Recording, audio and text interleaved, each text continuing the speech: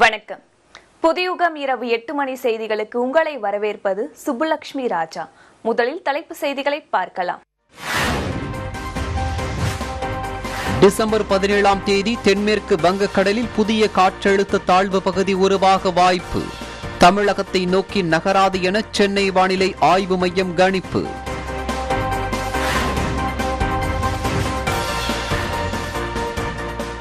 Vellore Jose Alukkas நகைக்கடையில் முப்பத்தைந்து kilo தங்கம் மற்றும் வைர நகைகள் கொள்ளை. சிசிடிவி காட்சிகளை கொண்டு காவல்துறையினர் விசாரணை.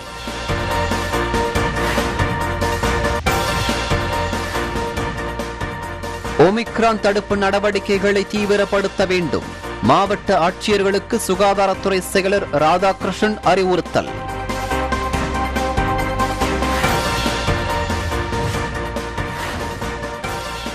முஞ்சுரை கிராமத்தில் சேதமடைந்துள்ள அரசு பள்ளி கட்டடம்.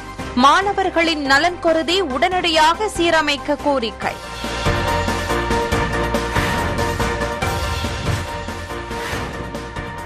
வந்தவாசி விழாநல்லூரில் கூடுதல் பேருந்து இயக்க கோரி பள்ளி மற்றும் கல்லூரி மாணவர்கள் சாலை மறியல்.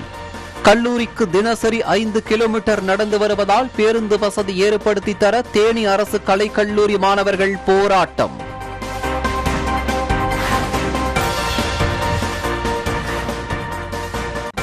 அமைச்சர் தங்கமணி அவரது உறவினர்களுக்கு சொந்தமான இடங்களில் லஞ்ச ஒழிப்புத்துறை சோதனை. வருமானத்துக்கு அதிகமாக சொத்து சேர்த்ததாக தங்கமணி குடும்பத்தினர் மீது வழக்கு பதிவு.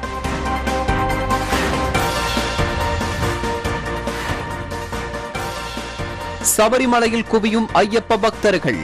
நடைபந்தலில் பல மணி நேரம் காத்திருந்து தரிசனம்.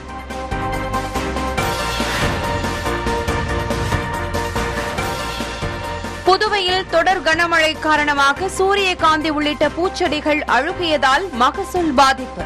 முறையான கணக்கெடுப்பு நடத்தி உரிய இழப்பீடு வழங்க கோரிக்கை.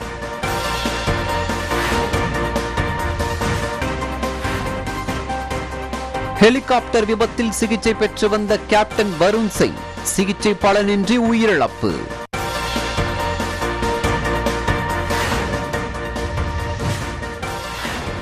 கேரளாவில் ஆற்றில் பேருந்து கவிழ்ந்த விபத்து. ஐந்து பெண்கள் உட்பட ஒன்பது பேர் உயிரிழப்பு.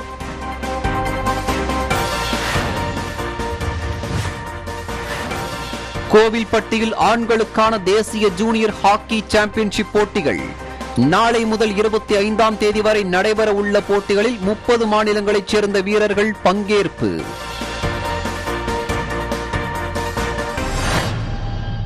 அடுத்ததாக தேசிய மற்றும் சர்வதேச நிகழ்வுகள் சிலவற்றை முக்கிய செய்திகளாக பார்க்கலாம்.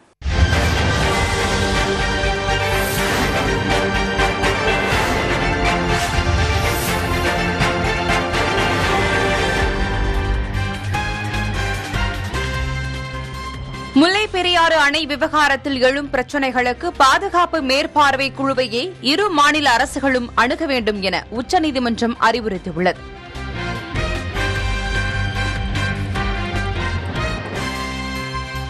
தமிழகத்தில் உர தட்டுப்பாடு நிலவுவதால் மத்திய அரசு டிசம்பர் மாதத்திற்கு கூடுதலாக இருபதாயிரம் மெட்ரிக் டன் பொட்டாஷ் உரம் ஒதுக்கீடு செய்துள்ளது.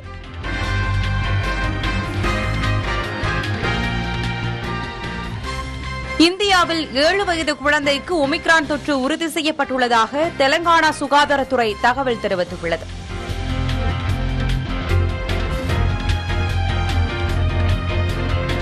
இந்தியாவில் எண்ணூற்று முப்பத்தி நான்கு பேருக்கு ஒரு மருத்துவர் என்ற விகிதத்தில் இருப்பதாக மத்திய அரசு தகவல் தெரிவித்துள்ளது.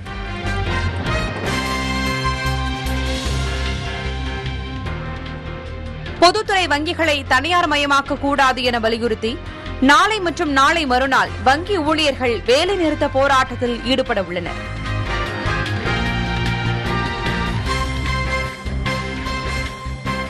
ஏழு ஆண்டுகளாக சிறையில் உள்ள ரோஹிங்கியா அகதிகள் தங்களுக்கு அகதிகள் அந்தஸ்து வழங்க வேண்டும் என அசாம் நீதிமன்றத்தில் மனு தாக்கல் செய்துள்ளனர்.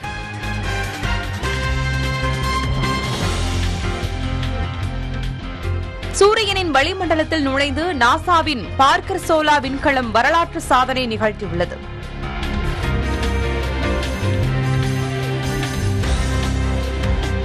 ஐரோப்பிய நாடுகளில் ஒமேக்ரான் வைரஸ் பரவல் அடுத்த சில மாதங்களில் அதிகரிக்கும் என்று நிபுணர்கள் எச்சரித்துள்ளனர்.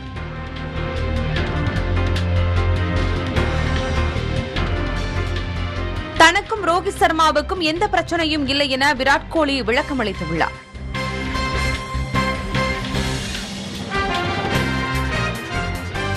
டிக்டாக் பப்ஜி உள்ளிட்ட செயலிகளை மீண்டும் பயன்பாட்டுக்கு கொண்டு வரும் திட்டம் இல்லை என மத்திய அரசு திட்டவட்டமாக தெரிவித்துள்ளது. இனி விரிவான செய்திகள் தொடர்கின்றன. பதினேழாம் தேதி தென்மேற்கு வங்கக்கடலில் புதிய காற்றழுத்த தாழ்வு பகுதி உருவாக வாய்ப்பு உள்ளது என சென்னை வானிலை ஆய்வு மையம் தெரிவித்துள்ளது. வானிலை மையம் வெளியிட்ட அறிக்கையில் நாளை முதல் பத்தொன்பதாம் தேதி வரை தென் மாவட்டங்களில் ஓரிரு இடங்களில் லேசானது முதல் மிதமான மழை பெய்யக்கூடும் எனவும் வட மாவட்டங்கள் மற்றும் புதுவை காரைக்கால் பகுதிகளில் பெரும்பாலும் வறண்ட வானிலையே நிலவும் என்றும் குறிப்பிடப்பட்டுள்ளது. சென்னையை பொறுத்தவரை அடுத்த நாற்பத்தெட்டு மணி நேரத்திற்கு வானம் ஓரளவு மேகமூட்டத்துடன் காணப்படும் என்றும் வானிலை அறிக்கையில் கூறப்பட்டுள்ளது. இன்று முதல் பத்தொன்பதாம் தேதி வரை குமரிக்கடல் பகுதிகளில் பலத்த காற்று வீசக்கூடும் என்பதால் மீனவர்கள் எச்சரிக்கையுடன் இருக்குமாறு அறிவுறுத்தப்பட்டுள்ளது.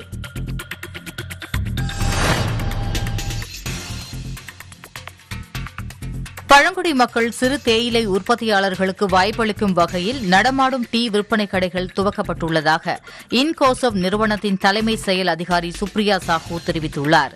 தமிழக சிறு குறு மற்றும் நடுத்தர தொழில்துறை சார்பில் மூன்று கோடி ரூபாய் மதிப்பில் இருபது நடமாடும் டீ விற்பனை கடைகளை முதலமைச்சர் ஸ்டாலின் சென்னை தலைமை செயலகத்தில் நடைபெற்ற நிகழ்ச்சியில் துவக்கி வைத்தார்.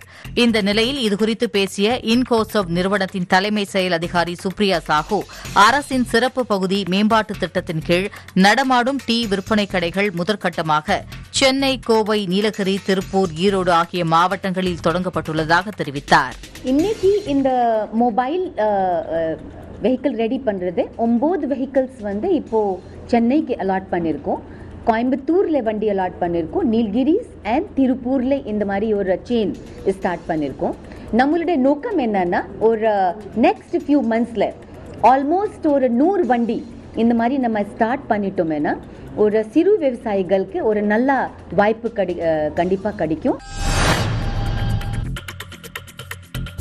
தமிழகத்தில் ஒமிக்ரான் தடுப்பு நடவடிக்கைகளை தீவிரப்படுத்த மாவட்ட ஆட்சியர்களுக்கு சுகாதாரத்துறை செயலர் ராதாகிருஷ்ணன் அறிவுறுத்தியுள்ளார்.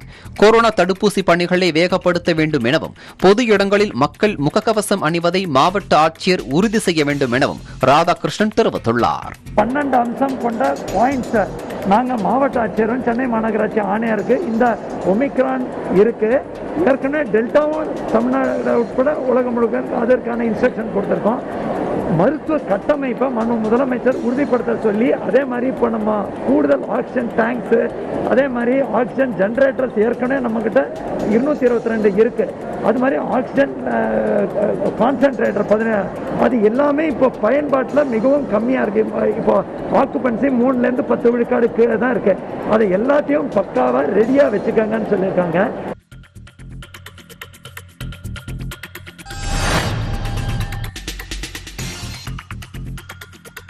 புதுச்சேரியில் தொடர் கனமழை காரணமாக ஐம்பது ஏக்கருக்கு மேல் பயிரிடப்பட்ட மலர்கள் அழுகி மகசூல் பாதிக்கப்பட்டுள்ளதால் விவசாயிகள் வேதனையடைந்துள்ளனர்.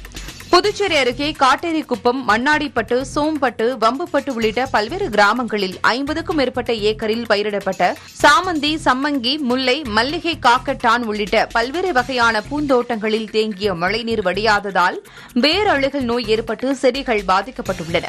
மகசூல் கடுமையாக பாதிக்கப்பட்டுள்ளதால் விவசாயிகள் கடும் வேதனை அடைந்துள்ளனர்.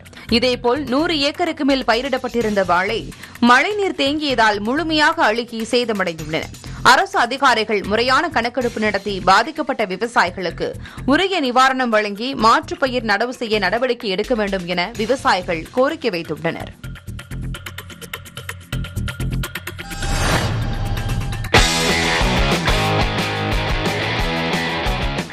கோவில்பட்டியில் பத்து நாட்கள் நடைபெற உள்ள ஹாக்கி திருவிழா களை கட்ட தயாராக உள்ளது.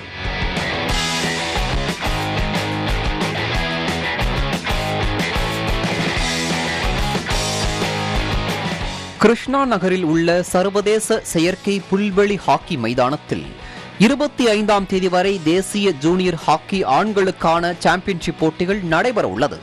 இந்தியாவின் தேசிய விளையாட்டான ஹாக்கிக்கு பெயர் பெற்ற ஊர்களில் தூத்துக்குடி மாவட்டம் கோவில்பட்டியும் ஒன்று.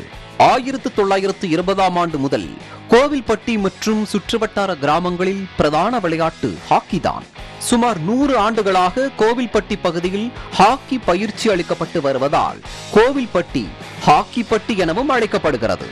கோவில்பட்டி கிருஷ்ணா நகரில் சுமார் ஏழு கோடியே ஐம்பது லட்சம் ரூபாய் மதிப்பீட்டில் சர்வதேச அளவிலான செயற்கை புல்வெளி மைதானம் மற்றும் மாணவர் விடுதி அமைக்க நிதி ஒதுக்கீடு செய்யப்பட்டு இந்த மைதானம் கடந்த இரண்டாயிரத்தி பதினேழாம் ஆண்டு செயல்பாட்டிற்கு வந்தது. இதன் பயனாக கோவில்பட்டி நகரம் மட்டுமின்றி பல்வேறு மாவட்டங்களில் இருந்தும் ஹாக்கி வீரர்கள் இங்கு வந்து பயிற்சி பெற ஆரம்பித்தனர். அதில் பயிற்சி பெற்ற மாணவர்களில் ஒருவரான கோவில்பட்டி அரசு கலைக் கல்லூரியில் பயிலும் மாணவர் மாரீஸ்வரன் மற்றும் தனியார் கல்லூரியில் பயிலும் அரியலூரைச் சேர்ந்த கார்த்தி ஆகிய இருவரும் இந்திய ஜூனியர் அணி தேசிய அளவிலான பயிற்சி முகாமிற்கு தேர்வு செய்யப்பட்டனர். நாங்கள் கோயில்பேட்டிலேருந்து ஒம்பது பேர் இப்போ ஜூனியர்ஸ் நேஷனல் டீமுக்கு செலக்ட் ஆயிருக்கோம். அதில் வந்து இப்போ கோயில்பேட்டில் உள்ள நிசி தேவாருல்னு ஒரு அண்ணன் தான் இப்போ எங்கள் டீம் எங்கள் டீமில் கேப்டனாக இருக்காங்க.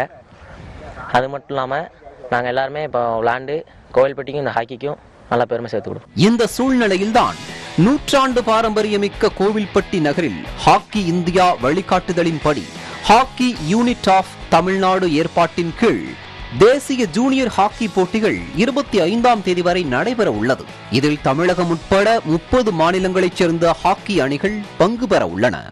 ஆடியன்ஸுடைய சப்போர்ட்டு நம்ம ஹோம் கிரவுண்டில் ஆடினா நம்ம மாணவர்கள் வந்து கண்டிப்பாக வந்து நம்ம வீரர்கள் வந்து இந்திய அணியில் பங்கு பெறுவதற்குள்ள வாய்ப்புகள் வந்து அதிகமாக இருக்குது இது வந்து இந்தியாவுடைய செலெக்ஷனும் இந்த இடத்துல நடக்கிறதுனால ஜூனியர் இந்தியாவுடைய டீம் செலெக்ஷன் இருக்குது ஸோ இதில் நாங்கள் அதிகமாக எதிர்பார்க்குறோம். நிறைய வீரர்கள் இதில் தேர்வாகுவாங்கங்கிற நம்பிக்கை இருக்குது.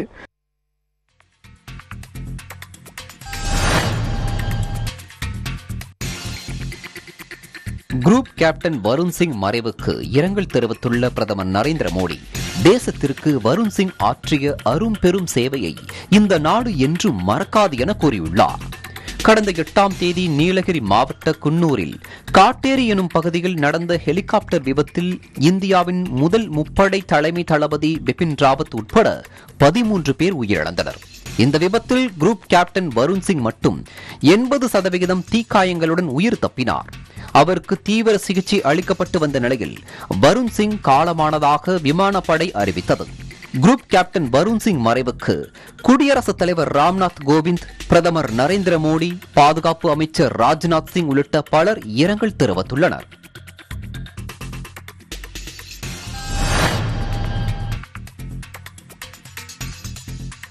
முன்னாள் அமைச்சர் தங்கமணி மற்றும் அவர் தொடர்புடைய அறுபத்து ஒன்பது இடங்களில் லஞ்ச ஒழிப்புத்துறை அதிகாரிகள் சோதனையில் ஈடுபட்டுள்ளனர். தங்கமணி வருமானத்திற்கு அதிகமாக சொத்து குவித்ததாக எழுந்த குற்றச்சாட்டை அடுத்து நாமக்கல் மாவட்டம் கோவிந்தம்பாளையத்தில் உள்ள தங்கமணியின் வீடு சென்னையில் பதினான்கு இடங்கள் நாமக்கல் கரூர் சேலம் திருப்பூர் என மாநிலம் முழுவதும் ஒன்பது மாவட்டங்களில் சோதனை நடத்தப்பட்டு வருகிறது. தமிழகம் மட்டுமின்றி கர்நாடகா மற்றும் ஆந்திராவிலும் லஞ்ச ஒழிப்புத்துறையினர் சோதனை செய்து வருவதாக தகவல்கள் வெளியாகியுள்ளன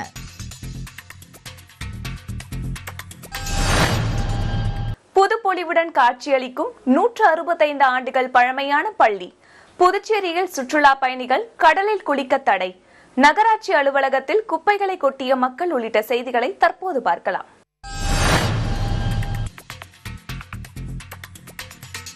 வேலூரில் பிரபல நகை கடையில் முப்பத்தைந்து கிலோ தங்க நகைகள் கொள்ளையடிக்கப்பட்ட சம்பவம் பரபரப்பை ஏற்படுத்தியுள்ளது.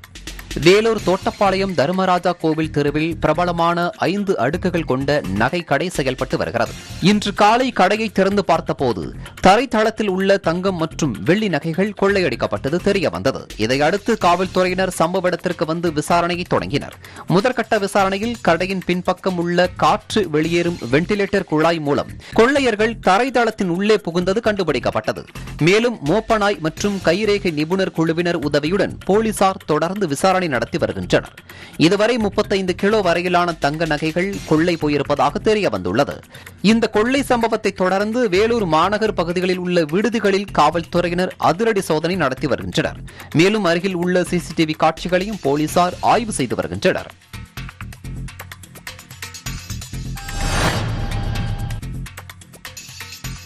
குமரி முஞ்சிரை கிராமத்தில் உள்ள அரசு பள்ளி கட்டிடம் மிக மோசமான நிலையில் உள்ளதாக சமூக ஆர்வலர்கள் கவலை தெரிவித்துள்ளனர். கன்னியாகுமரி மாவட்டம் கிள்ளியூர் சட்டமன்ற தொகுதிக்கு உட்பட்ட முஞ்சிரை பகுதியில் உள்ள அரசு நடுநிலைப் பள்ளி செயல்பட்டு வருகிறது. இந்த பள்ளி கட்டிடத்தின் சுற்றுச்சுவர் மேற்கூரை உள்ளிட்ட பகுதிகளில் விரிசல் ஏற்பட்டு உடையும் தருவாயில் இருப்பதாக மாணவர்கள் மற்றும் பெற்றோர்கள் புகார் தெரிவித்துள்ளனர். எனவே பள்ளி கட்டிடங்களை விரைவாக புனரமைக்க மாவட்ட நிர்வாகம் நடவடிக்கை எடுக்க வேண்டும் என்றும் போதிய வகுப்பறைகள் இல்லாததால் கூடுதல் கட்டிடங்கள் கட்டித்தர கோரியும் அந்த பகுதி மக்கள் கோரிக்கை விடுத்துள்ளனர். இந்த பிள்ளைங்க படிக்கிறது நூற்றுக்கும் ஒரு நூற்றி இருபத்தஞ்சுக்கு மேலே பிள்ளைங்க இங்கே இருக்காங்க. அப்போ இவங்களுடைய நிலவரம். ஏதாவது இங்கே பேரிடர் காலம் தண்ணி வந்தாச்சுன்னா இந்த ஸ்கூலில் தான் எல்லாருமே வந்து பார்க்குற இருப்பாங்க. அப்படி வந்து நிறைய வாட்டி இங்கே வந்திருக்காங்க. ஆனால் என்ன இந்த ஸ்கூலோட நிலவரம் நிறைய பேர் வர்றாங்க போகிறாங்க எல்லாரும் வந்து பார்க்குறாங்க ஆ பண்ணுறேன் பண்ணுறேன்னு சொல்கிறாங்களே தவிர யாருமே இது வரைக்கும் எந்த ஒரு நடவடிக்கை எடுக்கலை.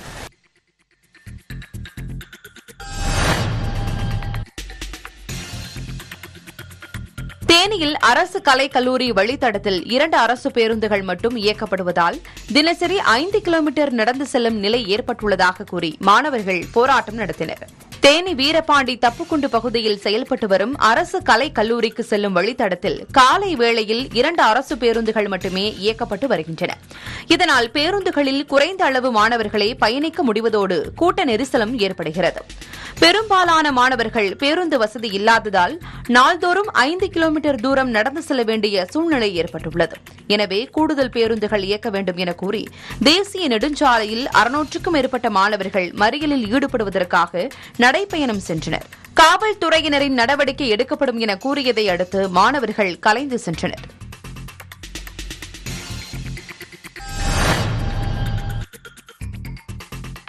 நூற்று அறுபத்தைந்து ஆண்டுகால பழமை வாய்ந்த அரசு பள்ளி.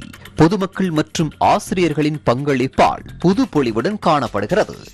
கிருஷ்ணகிரி மாவட்டம் ஓசூரில் உள்ள ஆர்வி அரசு ஆண்கள் மேல்நிலைப் பள்ளி ஆயிரத்தி எண்ணூற்று ஐம்பத்தி ஐந்தாம் ஆண்டு துவக்கப்பட்டு நூற்று அறுபத்தைந்து ஆண்டுகள் பழமை வாய்ந்ததாக திகழ்கிறது.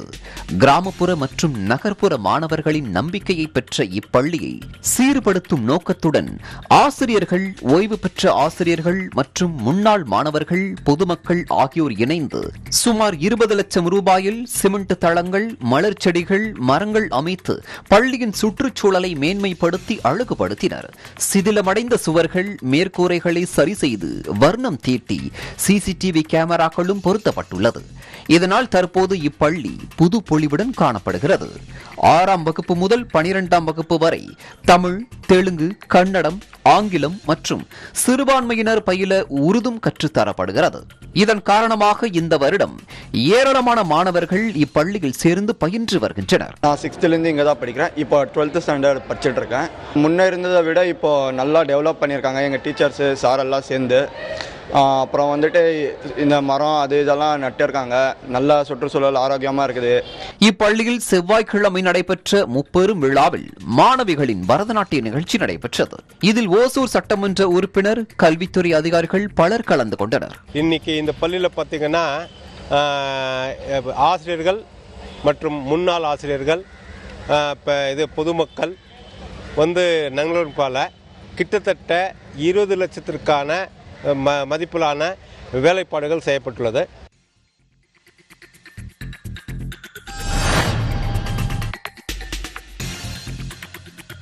புதுச்சேரியில் கடல் சீற்றம் காரணமாக சுற்றுலா பயணிகள் கடலில் குளிக்க தடை விதிக்கப்பட்டுள்ளது. புதுச்சேரியில் கடல் காற்று மற்றும் தரைக்காற்று பலமாக வீசி வருவதால் கடல் சீற்றத்துடன் காணப்படுகின்றது. கடற்கரையில் பொதுமக்கள் சுற்றுலா பயணிகள் குளிக்க வசதியாக பல கோடி ரூபாய் செலவில் உருவாக்கப்பட்ட செயற்கை மணற்பரப்பில் சுற்றுலா பயணிகள் மிகவும் விரும்பி குளித்து வந்தனர். இந்த நிலையில் கடல் சீற்றம் காரணமாக இன்று முதல் கடலில் குளிக்க போலீசார் தடை விதித்துள்ளதால் செயற்கை மணற்பரப்பு வெறிச்சோடி காணப்படுகின்றது.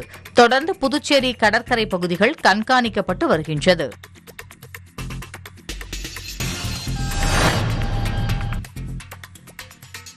பூந்தமல்லி நகராட்சிக்குட்பட்ட ஒன்றாவது வார்டில் கடந்த சில தினங்களாக குப்பைகள் அகற்றப்படாததால் சுகாதார சீர்கேடு ஏற்பட்டுள்ளதாக கூறப்படுகிறது.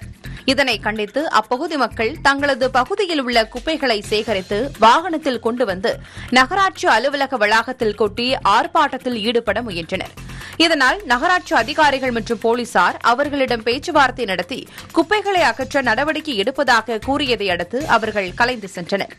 பூந்தமல்லி நகராட்சிக்குட்பட்ட பகுதிகளில் பொதுமக்கள் குப்பைகளை தரம் பிரித்து கொடுக்க வேண்டும் என நகராட்சி சார்பில் அறிவிக்கப்பட்டுள்ள நிலையில் பல பகுதிகளில் மக்கள் குப்பைகளை தரம் பிரித்து கொடுக்காததால் குப்பைகளை அகற்றுவதில் சிரமம் ஏற்படுவதாக நகராட்சி சார்பில் கூறப்படுகிறது.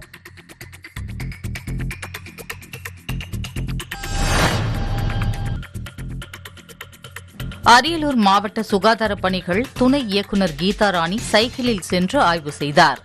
சுற்றுச்சூழல் பாதுகாப்பு நடவடிக்கையாக பெரம்பலூரிலிருந்து அரியலூர் சென்ற துணை இயக்குநர் கீதா ராணி அரியலூர் புறவழி சாலையில் ஏழு கிலோமீட்டர் தூரம் சைக்கிளில் ஒட்டக்கோவில் துணை சுகாதார நிலையத்திற்கு சென்று குழந்தைகளுக்கு போடும் தடுப்பூசி பணிகளை குறித்து ஆய்வு செய்தார்.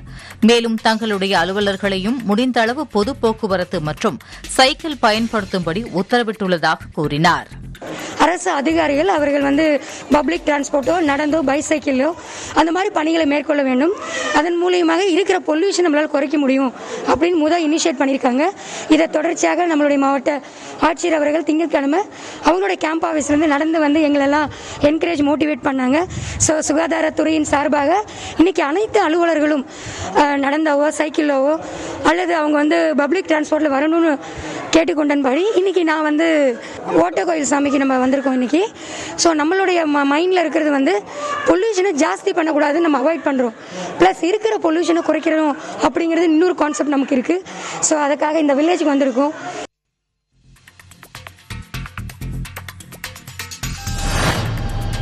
சாலையில் நாற்று நட்டு போராட்டம் நடத்திய பொதுமக்கள் கால்நடைகளை வேட்டையாடிய புலி காவல்துறையினரின் அணிவகுப்பு நிகழ்ச்சி உள்ளிட்ட செய்திகளை தற்போது பார்க்கலாம்.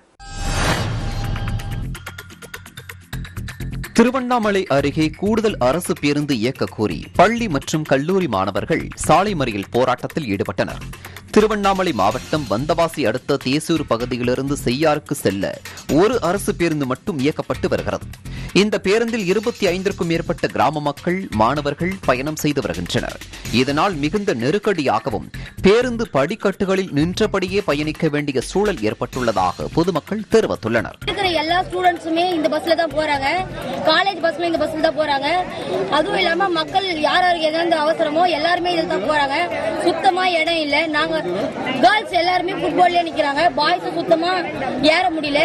பேக் பேக்ல இருந்து எல்லாருமே இதுலயே வராங்க. எங்களுக்கு கூடுதலா ஒரு பஸ் வேணும். இந்த ரூட்ல இந்த ஒரு பஸ் மட்டும்தான் இருக்கு. அதுவும் குறிப்பிட்ட நேரத்துல பசங்க காலேஜுக்கும் ஸ்கூலுக்கும் போக முடியாத சூழ்நிலை இருக்கு. அதனால நாங்க வந்து சாலை சாலை மறியல் பண்றோம். தகவல் அறிந்து வந்த வந்தவாசி போலீசார் சாலை மறியல் போராட்டத்தில் ஈடுபட்ட மாணவர்களிடம் பேச்சுவார்த்தை நடத்தி கூடுதலாக பேருந்து இயக்க நடவடிக்கை எடுக்கப்படும் என்று உறுதி அளித்ததன் பேரில் மறியல் கைவிடப்பட்டது.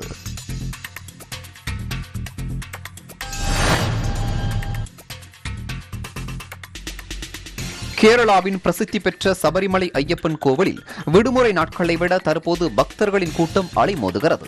பம்பையிலிருந்து சன்னிதானம் வரும் பக்தர்கள் நடைபந்தலில் பல மணி நேரம் காத்திருந்து சுவாமி தரிசனம் செய்து வருகின்றனர். அப்பம் அரவணை உள்ளிட்ட பிரசாதம் வாங்கும் கவுண்டர்களிலும் பக்தர்களின் கூட்டம் அதிகரித்துள்ளது.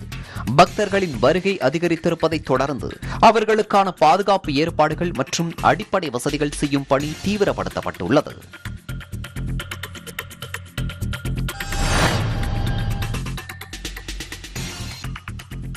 காவல்துறைக்கான அறுபத்தி ஓராவது தடகள விளையாட்டுப் போட்டிகள் தொடங்கப்பட்டுள்ளது. கோவை நேரு விளையாட்டு மைதானத்தில் மாநில அளவிலான மண்டலங்களுக்கு இடையே காவல்துறையின் விளையாட்டு திறனை மேம்படுத்தும் விதமாக அறுபத்தி ஓராவது மாநில காவல் தடகள விளையாட்டுப் போட்டிகள் தொடங்கியது.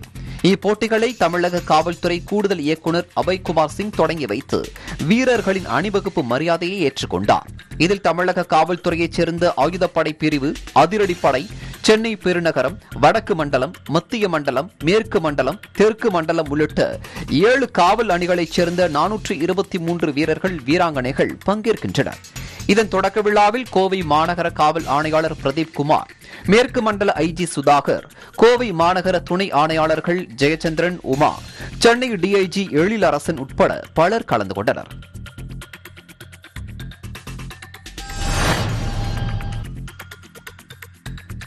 விருதுநகர் மாவட்டம் ராஜபாளையத்திலிருந்து சத்திரப்பட்டி செல்லும் சாலையில் உள்ள தனியார் பாலிடெக்னிக் வளாகத்தில் தேசிய மாணவர் படைகளுக்கு துப்பாக்கி சுடுதல் பயிற்சி முகாம் நடைபெற்றது. நானூற்றுக்கும் மேற்பட்ட மாணவர்கள் கலந்து கொண்ட இம்முகாமில் சுடுவதற்கு பயன்படுத்தப்படும் துப்பாக்கிகளின் ரகம் அதன் வடிவமைப்பு செயல்படும் விதம் துல்லியமாக சுடும் தூரம் குண்டு செல்லும் தூர அளவு துப்பாக்கியை கையாளும் விதம் உள்ளிட்ட பல்வேறு தகவல்கள் குறித்து செயல்முறை விளக்கம் அளிக்கப்பட்டது.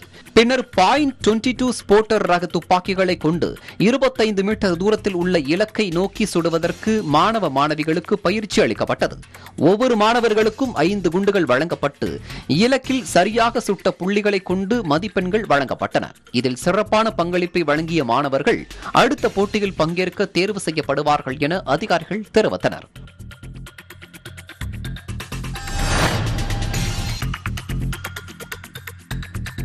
திட்டக்குடி அருகே சேரும் சகதியுமாக உள்ள சாலையை சீரமைக்க கோரி பொதுமக்கள் நாற்று நடும் போராட்டத்தில் ஈடுபட்டனர். கடலூர் மாவட்டம் திட்டக்குடி அடுத்த கோடன்குடி கிராமத்தில் தொடர் மழை காரணமாக தெருக்கள் மற்றும் சாலைகள் சேரும் சகதியுமாக காட்சியளிப்பதாக புகார் எழுந்துள்ளது. இதனால் பொதுமக்கள் மிகவும் சிரமப்பட்டு வருவதாக கவலை தெரிவித்துள்ளனர். இதுகுறித்து பலமுறை ஊராட்சி நிர்வாகத்திடம் புகார் தெரிவித்தும் எந்தவித நடவடிக்கையும் எடுக்காத நிலையில் ஆத்திரமடைந்த பொதுமக்கள் சாலையில் நாற்று நடும் போராட்டத்தில் ஈடுபட்டனர்.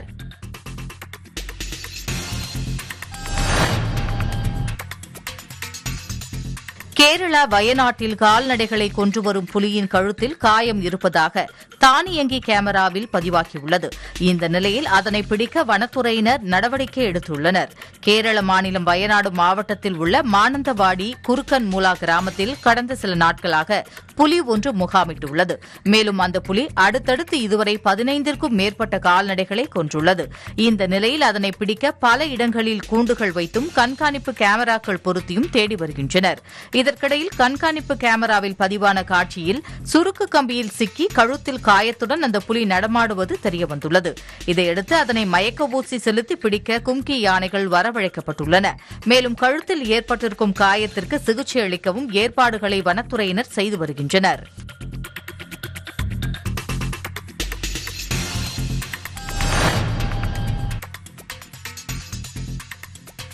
திருச்செந்தூர் பாலக்காடு இடையே முன்பதிவில்லாத ரயில் நாளை முதல் இயக்கப்பட உள்ளதாக மதுரை கோட்ட தெற்கு ரயில்வே அறிவித்துள்ளது. திருச்செந்தூர் பாலக்காடு ரயில் நிலையங்களுக்கு இடையே டிசம்பர் பதினாறாம் தேதி முதலும் பாலக்காடு திருச்செந்தூர் ரயில் நிலையங்களுக்கு இடையே டிசம்பர் பதினேழாம் தேதி முதலும் முன்பதிவு இல்லாத விரைவு ரயில் இயக்க தெற்கு ரயில்வே ஏற்பாடு செய்துள்ளதாக அறிவிப்பு வெளியிடப்பட்டுள்ளது. சர்க்கரை ஆலையில் கரும்பு அறவை பணிகள் தொடக்கம். வீட்டின் சுவர் இடிந்து விழுந்து விபத்து. மாற்றுத்திறனாளிகளுக்கான சிறப்பு முகாம் உள்ளிட்ட செய்திகளை தற்போது பார்க்கலாம்.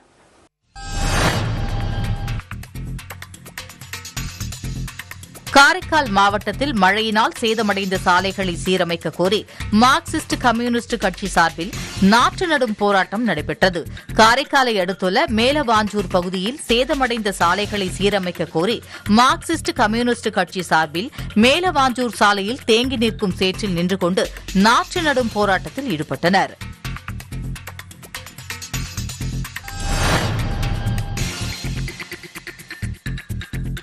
விருதுநகர் மாவட்டம் ராஜபாளையத்தில் நடைபெற்று வரும் பாதாள சாக்கடை திட்டத்திற்கான சுத்திகரிப்பு நிலையம் அமைக்கும் பணிகள் குறித்து மாவட்ட ஆட்சியர் நேரில் ஆய்வு மேற்கொண்டார். மேலும் மறுசீரமைப்புக்கு திட்டமிடப்பட்டுள்ள கண்மாய்களின் உறுதித்தன்மை குறித்தும் ஆய்வு நடைபெற்றது.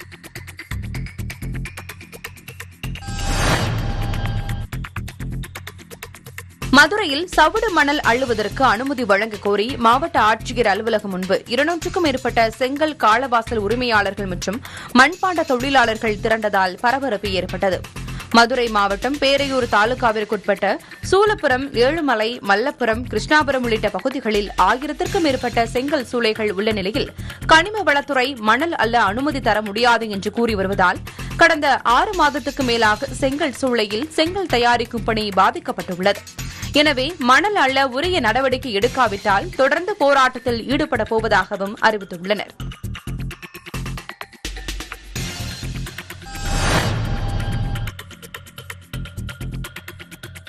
தருமபுரி மாவட்டம் அரூர் சுப்பிரமணிய சிவா கூட்டுறவு சர்க்கரை ஆலையில் இரண்டாயிரத்தி இருபத்தி ஒன்று இரண்டாயிரத்தி இருபத்தி இரண்டாம் ஆண்டுக்கான அறவை பருவத்தில் கரும்பு அறவை பணியினை தமிழக வேளாண்துறை அமைச்சர் எம் ஆர் கே பன்னீர்செல்வம் தொடங்கி வைத்தார்.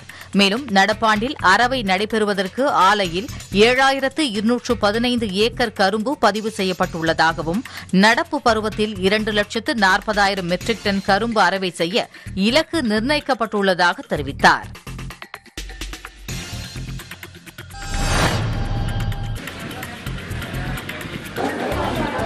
நாகை மாவட்டம் வேதாரண்யம் ஊராட்சி ஒன்றிய அலுவலகத்தில் குழந்தைகள் முதல் முதியோர் வரை உள்ள மாற்றுத்திறனாளிகளுக்கு இலவச உதவி உபகரணங்கள் தனித்துவம் வாய்ந்த தேசிய அடையாள அட்டை வழங்குவதற்கான சிறப்பு மருத்துவ சோதனை முகாம் நடைபெற்றது. முகாமில் மூன்று சக்கர சைக்கிள் மடக்கு சக்கர நாற்காலி காதுக்கு பின்னால் அணியும் காதொலி கருவி போன்ற உபகரணங்கள் வழங்க மாற்றுத்திறனாளிகளை மருத்துவர்கள் பரிசோதனை செய்தனர். முகாமில் நானூற்று ஐம்பதுக்கும் மேற்பட்ட மாற்றுத்திறனாளிகள் கலந்து கொண்டனர்.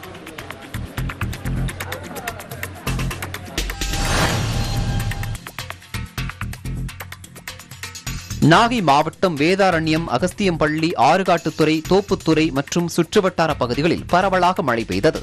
இந்த மழையால் பொதுமக்களின் இயல்பு வாழ்க்கை பாதிக்கப்பட்டது. ஏற்கனவே மழை வெள்ள நிவாரணம் கேட்டு மக்கள் போராடி வரும் நிலையில் மீண்டும் மழை தொடங்கியதால் விவசாயிகள் கவலையடைந்துள்ளனர்.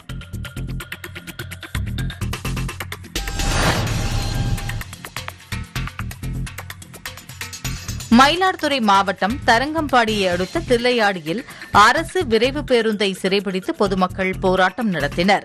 தில்லையாடி வழியாக செல்ல வேண்டிய பேருந்து மாற்றுப்பாதையில் சென்றதால் கோபமடைந்த பொதுமக்கள் மறியல் போராட்டத்தில் ஈடுபட்டனர்.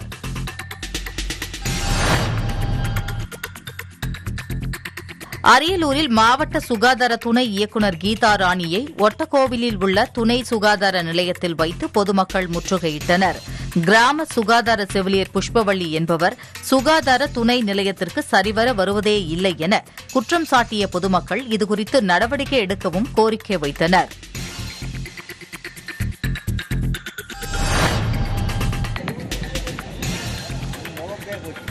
ராமநாதபுரம் மாவட்டம் ராமேஸ்வரம் வேர்காடு பகுதியில் சாலையோரத்தில் இருந்த டிரான்ஸ்பார்மர் மீது மீன் லாரி மோதி விபத்திற்குள்ளானது. தூத்துக்குடி பகுதியில் இருந்து ராமேஸ்வரத்திற்கு மீன் ஏற்றுவதற்காக சென்ற வாகனத்தின் ஓட்டுநர் உறங்கிவிட்டதால் விபத்து ஏற்பட்டுள்ளதாக தகவல் வெளியாகியுள்ளது. இதில் யாருக்கும் காயம் ஏற்படவில்லை என்பது குறிப்பிடத்தக்கது.